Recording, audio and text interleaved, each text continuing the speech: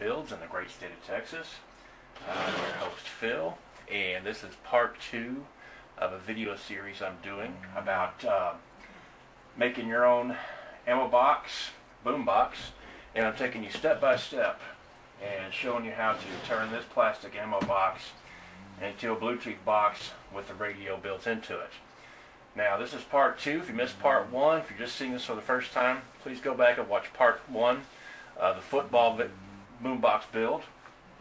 And this is going to be part two. We're going to be covering getting ready for paint.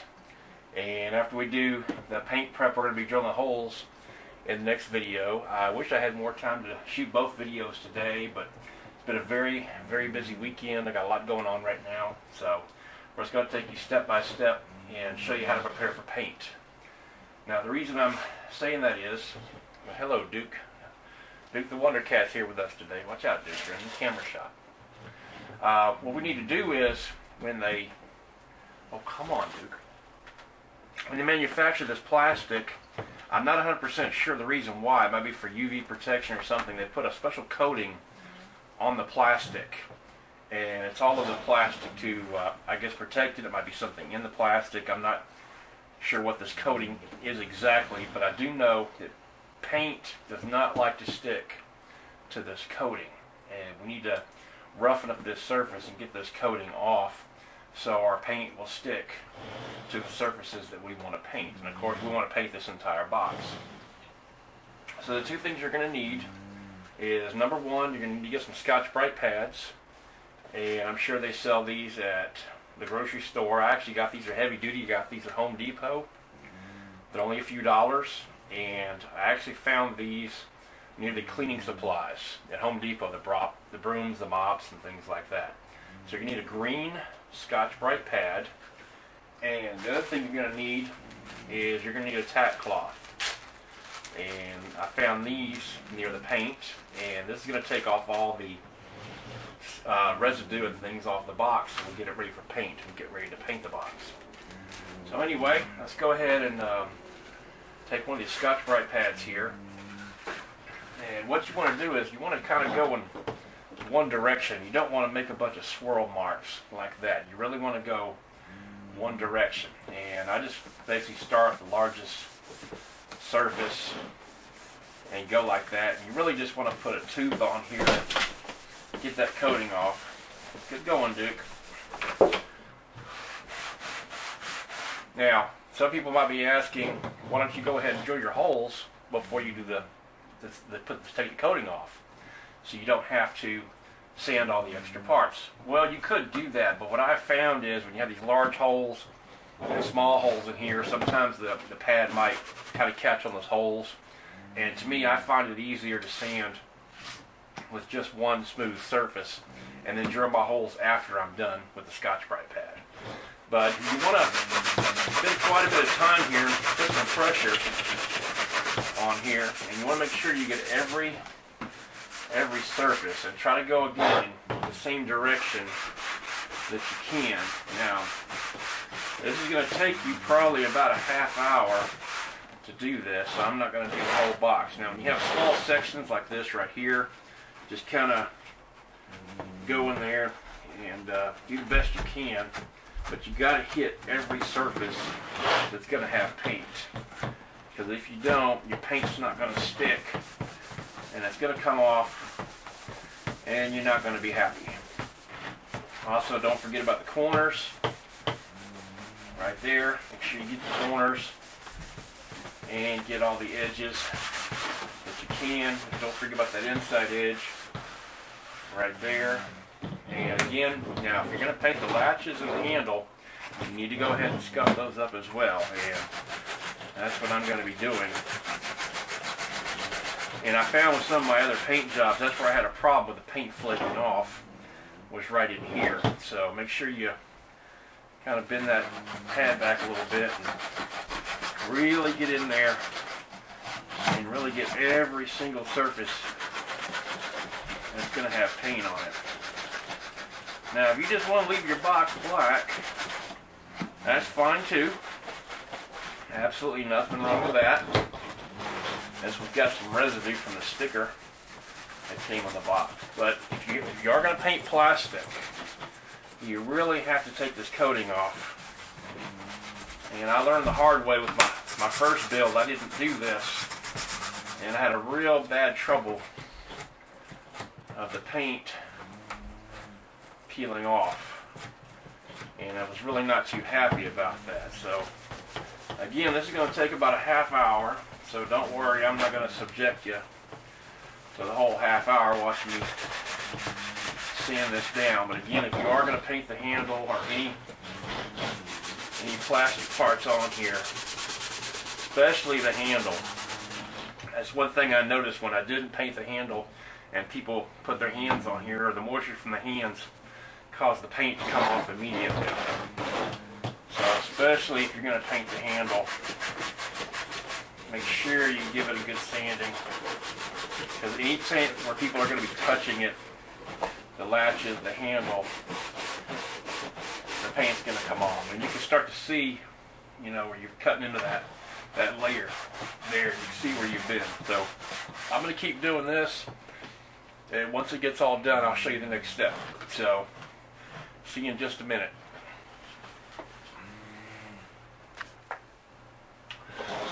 Okay, well, we're back. And as you can see, I've uh, got done hitting this every surface with the Scotch-Brite pad. Now, I don't do the bottom because nobody's going to see the bottom, so I don't really care, but I want to show you the difference. If you can see here where I didn't hit the Scotch-Brite pad, it's kind of shiny, and you can see here, it's kind of got really dull now. I've really knocked down that finish and got that coating off there. So that's uh, how it's going to look. Just make sure you hit every single surface with the Scotch-Brite pad. Again, try not to do any swirl marks. Try to go back and forth and back and forth.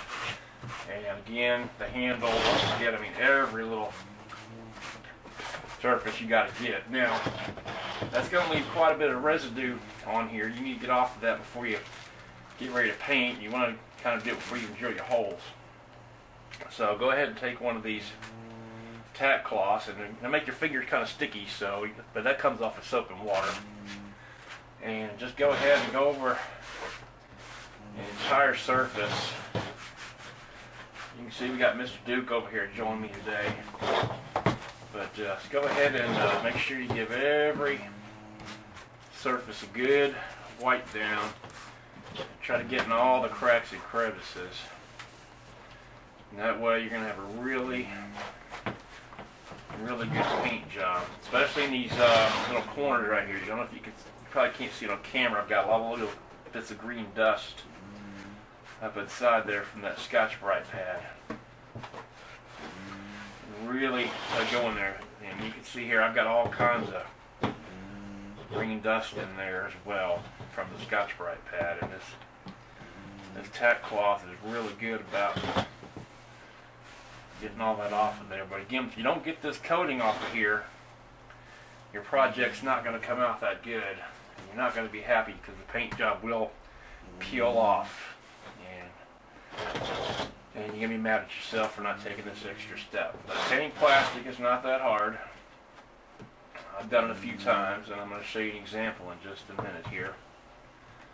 And uh, I mean, getting those little cracks and crevices, we really got a lot of dust in there. Anyway, that's about it. Now, you don't have to paint your box. I've noticed a lot of guys that have the green enamel boxes, they want to keep that green enamel look, and that's fine. But if you have a plastic box, it's going to come green or black, and, you know, you want to, you know, put a little personality to it. Now, also, I like to paint my accessories. Uh, this is a voltmeter with the uh, USB ports for charging. And what I like to do is paint this little trim piece that goes around here and just kind of gives a little extra pop. Because I'm going to paint the box white and I'm going to do Houston Texans color. So the box is going to be white. The handle is, is going to be navy blue the latches are going to be navy blue and this part here on the back is going to be red. Uh, kind of just make it pop a little bit. Let me show you an example of that right here. Let me move this out of the way. This is a build I did about a month ago. This is my Superman box build that I made for a guy, but due to some unfortunate circumstances, he couldn't get it right now, so I'm just holding on to it for him. But you can see how the red and the blue really, really pop. And it looks really, really good. You can see the handle handle and the latches here against the blue. Just really makes it stand out. And again, here's the example of painting that trim piece. So again, it's just a way to add a little, little pop to your project, especially if you're going to sell them. It's really a good way to uh, you know show off your project. And I even painted the uh, bass tube. Now again, same with this here. It is plastic. You need to follow the same procedure. Before you paint it, you have to hit it with a tack cloth and the Scotch-Brite pad. And I think you'll uh, see some good results. Now, it may not always be perfect. Um, you can't tell from here, but right here I had a little problem where the paint did peel up. Apparently I didn't uh, sand it down too good, so I went ahead and had to take everything off and repaint it, and the patch is invisible. But um, it may not be perfect the first time you do it, but it's going to look really good. There's kind of a preview of coming attractions of what you can do with your stuff. So anyway, thanks for watching my video today. Uh, part three, we're going to be drilling the holes. I'm going to be showing you how to properly measure for the holes and get everything drilled before we paint. Um, you really want to drill your holes before you paint so you don't chip your paint. Ask me how I know. But again, thanks for watching. I hope you guys learned some great tips from me. And um, again, we have it all sanded down, have the tack cloth taking care of it.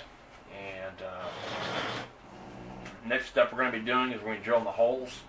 Here we're going to be drilling some holes for the switches, for the meter, USB port, and of course the holes for the speakers.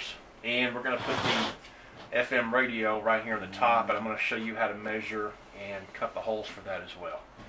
So anyway, until next time, this is Duke. Say hi, Duke. He's having a good time today. And Phil with DIY Boomboxes in Texas. And again, thanks for watching. Please subscribe to my channel if you haven't already. I'm trying to put as many videos out as soon as I possibly can. Like I said, I've got a lot of things going on right now, and I do have a regular job, so I, I stay pretty busy. So, um, again, thanks for watching, guys. Thanks for all your support. I want to thank all the people I've learned from. Again, check out my thank you video. I've referenced a couple of other guys that really taught me a lot, and I want you to check out their channels as well, please because those guys have some great information and some great things you can learn for from, especially one two three Toid. Check his page out. I mean his excuse me his channel out. And he's got some great information. And um, also check out my Facebook page. It's I Love All Things Radio. We'll be happy to have you.